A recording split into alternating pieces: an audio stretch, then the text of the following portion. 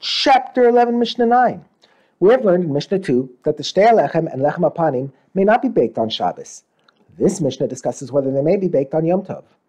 The Shtei Lechem, which are brought on Shavuos, are eaten no less than two days, i.e., they are never eaten before the day after they are baked, and no more than three days from when they are baked. How so? Under normal circumstances, they are baked on the day before the Yom Tov of Shavuos and are eaten on Yom Tov the next day they are thus eaten on the second day from the baking. If, however, the Yom Tov of Shavuos falls on the day after Shabbos, i.e. on Sunday, they are baked on the Friday before. Thus, they are eaten on the third day from baking. The lechem hapanim is eaten no less than nine days, that is, it is eaten no earlier than the ninth day, including the day of baking, and no more than eleven days from when it is baked. How so? Under normal circumstances, it is baked on Erev Shabbos Friday and eaten on the Shabbos of the following week. It is thus eaten on the ninth day from baking. baking.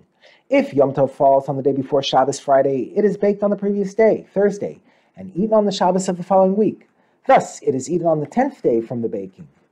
If the two days of Rosh Hashanah fall on Thursday and Friday, the bread is baked on Wednesday and eaten on the Shabbos of the following week. Thus, it is eaten on the eleventh day from the baking.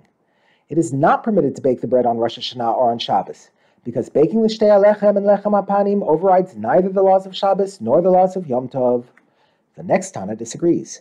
Rabban Shimon ben Gamliel says in the name of Rabbi, Rabbi Shimon, the son of the deputy Kohen HaGadol, the baking of the Shtei Lechem and Lechem HaPanim overrides Yom Tov. Therefore, the Shtei Lechem are baked on Shavuos, and the Lechem HaPanim are always baked on Friday, even if Yom Tov falls on that day.